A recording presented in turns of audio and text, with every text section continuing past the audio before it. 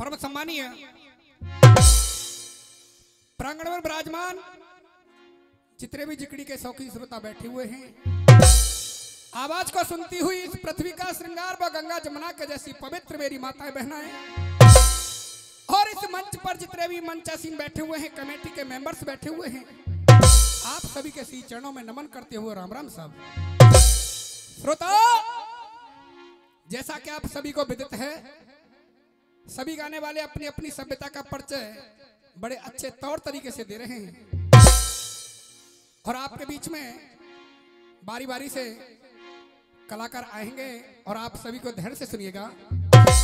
चार लाइन में कभी जवाब दे रहा है भैया मानू जी।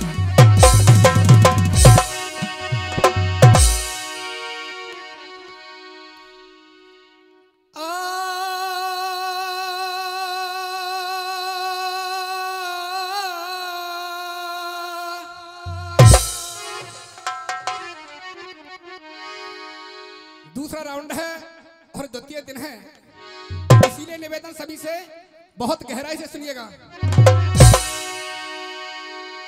कि कागा सब तन खाइयो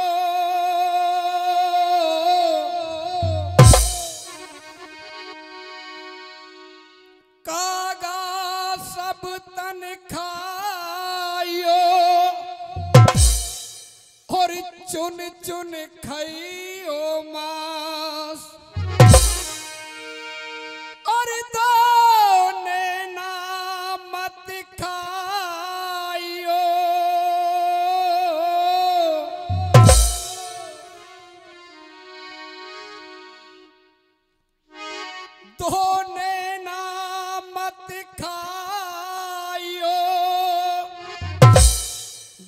पिया मिलन की।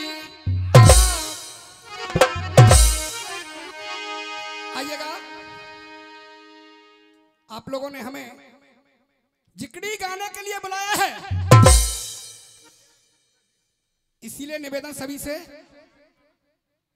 आप लोगों ने कल से साकी सुनी, भवानी सुनी, लेकिन आपको 20 मिनट में केवल आपको जिकड़ी सुनाऊँगा।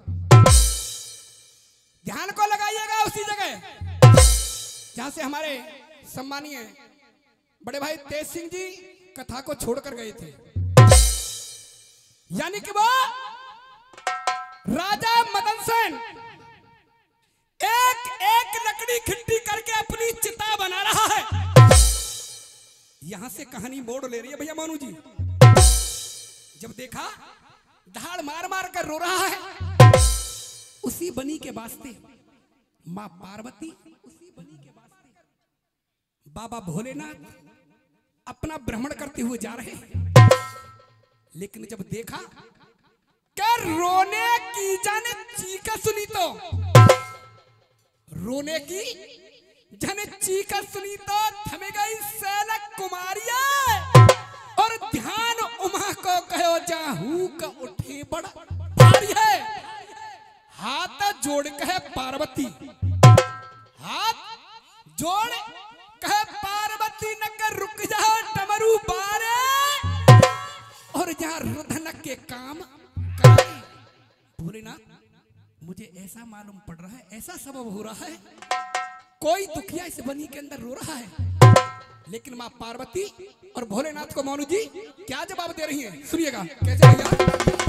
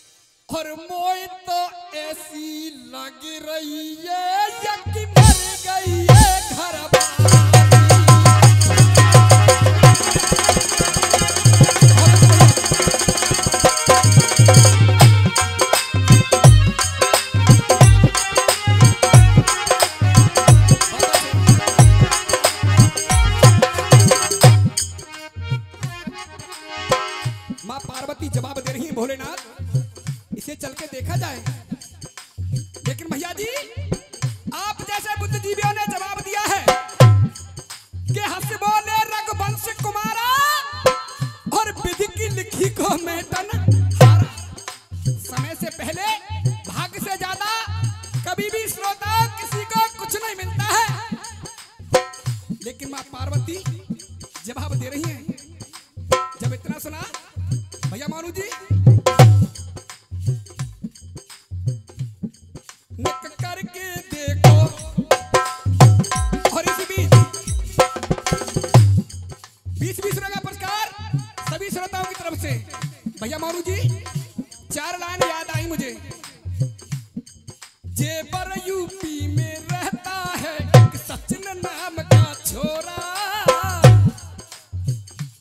आप लोगों ने टेलीविज़न पर भी देखा होगा, अखबारों के अंदर भी पढ़ा होगा। लेकिन भैया जी, एक सौ रुपए का पुरस्कार हमारे सरपंच साहब की तरफ़ से बार बार धन्यवाद। सुनिएगा। लेकिन वो सचिन, जो सीमा को लेकर आया था था कहाँ का? सुनिएगा। यूपी में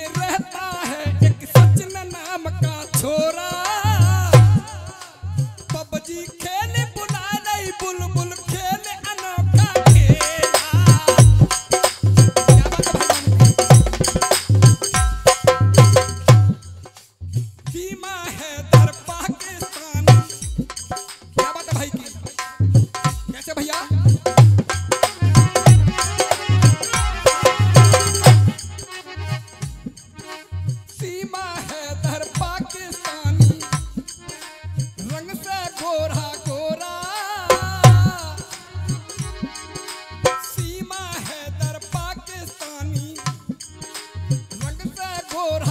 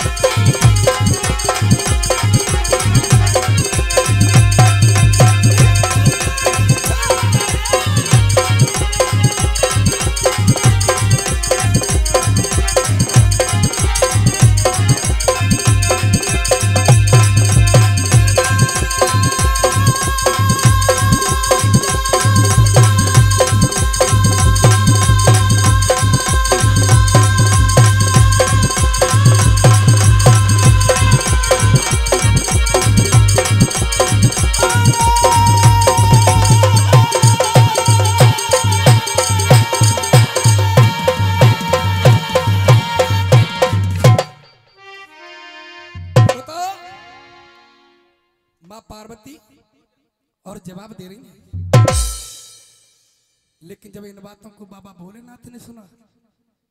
बाबा भोलेनाथ जवाब दे रहे भोला का सुन पार्वती।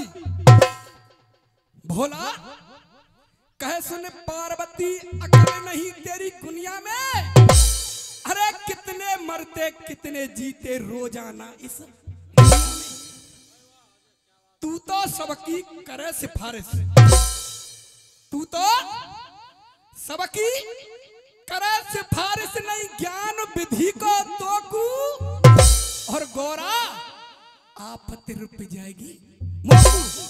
चलिए, ये संसार सागर है। कोई जन्म लेता है, कोई मरता है। हमें क्या मतलब? लेकिन माँ पार्वती और इसी बीच श्रीमान प्रताप भगत जी, ग्राम महुआ से एक सौ रुपए का पुरस्कार देते हैं। बार बार धन्यवाद। श्रोता जब बाबा भोलेनाथ की बातों को सुना, लेकिन जवाब दे रही माँ पार्वती। और इसी बीच बीरो बीरो सिंह जी, पंचायत समिति सदस्य। इक्यावन का आशीर्वाद देते हैं? बार बार धन्यवाद आज माँ पार्वती ने जवाब दिया। भोलेनाथ, आप इस दुखिया से मिलोगे नहीं? कोई बात नहीं। ये आपका रास्ता है। ये मेरा रास्ता है। लेकिन इस दुखिया से मैं ज़रूर मिलूँगी। माँ पार्वती और भोलेनाथ को मानू, क्या जवाब दे रहे भैया जी? सुनिएगा।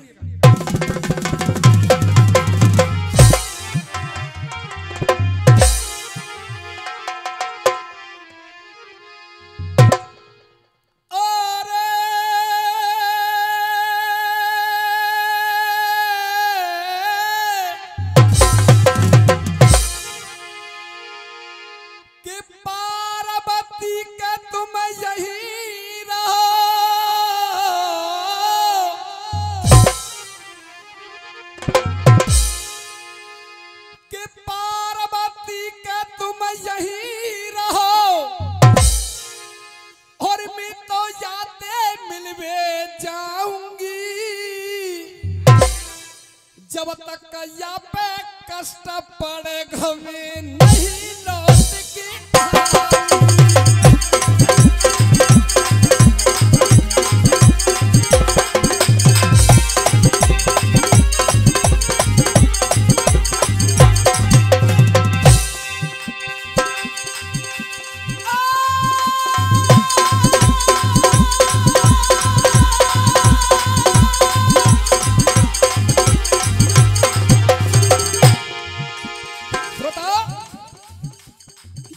समझ में नहीं आए तो हाथ उठा देना। और आ रही है तो चुपचाप बैठे रहो। सुनिएगा?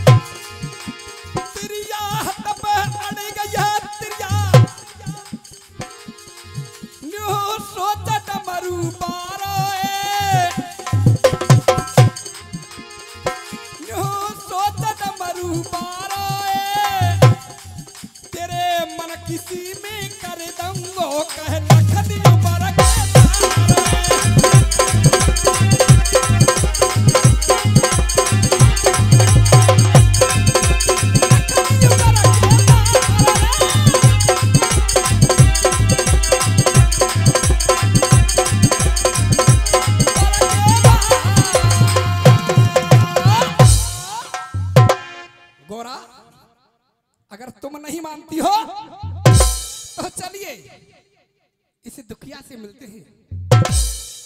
जब बाबा भोलेनाथ की बातों को सुना, बा पार्वती ने, जवाब दे रही हैं, मन में खुश भई पार्वती, मन में खुश भई पार्वती लियो भोला संग लगाई है। और वही पहुँच गई जहाँ मदन सेन ने अपनी चिता बनाई है। भोला कह, तू कोहे दुखिया? भोला कहे तू कोहे दुखिया, भेद बता दे सारा। और यार रुधन करे अति। तेरा क्या मतलब है भाई? तू अपने प्रणव की आहुति इस अग्नि में क्यों दे रहा है बाबा? बेटा, मुझे बताना, क्या सबब है? तेरा क्या मतलब है? आज मदन सेन जवाब दे रहा है। बाबा, मैं एक जूनागढ़ का राजा हूँ। हरिशंकर नानो तैयार रहे। ये मेरी रानी चंद्र प्रभा बाबा। इसे सर्प ने काट लिया है बाबा। ये मर गई है बाबा। इसे जिंदी करा दो ना। जब बाबा भोलेनाथ ने इन बातों को सुना, कहो तो जिकड़िया सुनाऊं, नहीं गानों सुनाऊं। आगे चल तू अच्छी बात। श्रोता जब इन बातों को सुना, बेटा, ये तेरी रानी है। इसका नाम चंद्रप्रभा है। हाँ। लेकिन तुझे मालूम है तेरी रानी मर क्यों गई है? सुन मेरी बात। बाबा भोलेनाथ और मदन सेन को जवाब दे रहे हैं मानू जी कैसे सुनिएगा?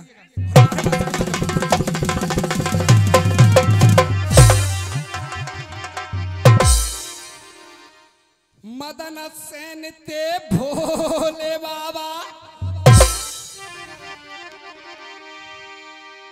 और बोल रहे बानी।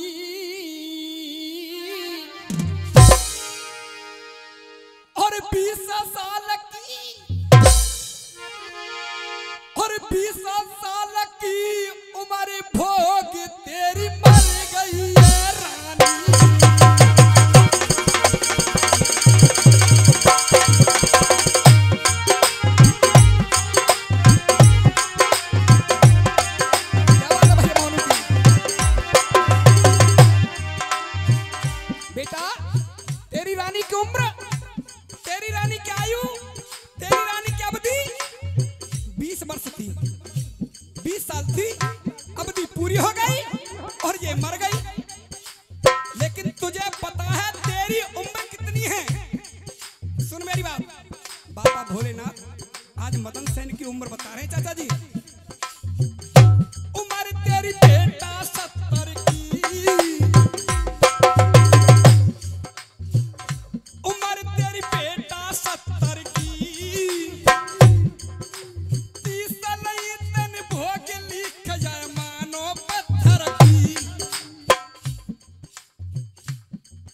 समय सीमा आने वाली है भैया मानू। सुनिए। बेटा, तेरी उम्र सत्तर वर्ष है, जिसमें से तूने तीस भोग लिए। उम्र चालीस बच्चे तेरे। अब सुन मेरी बात। अगर तू अपनी रानी को जीवित करना चाहता है तो मेरी बात सुन। उम्र चालीस बच्चे तेरे।